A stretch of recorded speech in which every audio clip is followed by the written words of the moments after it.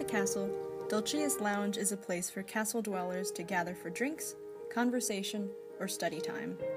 Dulcia's is also the castle center for music, with its piano in particular drawing musicians into the lounge to practice their craft. Matt Thaler, a junior and resident assistant here at the castle, is one such musician.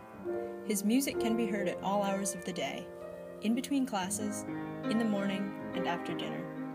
He said that he likes the convenience of having a piano so close.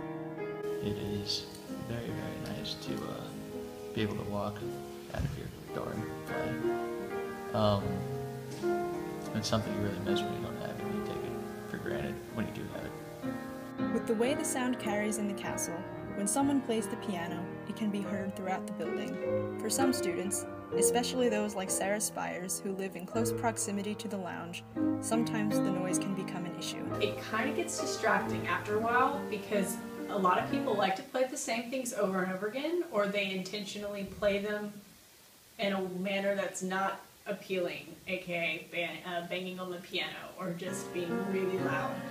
Um, yeah, it can get a little annoying at night. Claire Torres, another castle student who lives one floor above the lounge, finds that headphones can be an easy solution when trying to study. Up here, I can put headphones in, but if like if someone's playing really loud or if the door's open or I'm talking to someone, it can get very annoying. So if I'm doing a study group, it's not as great as it could be.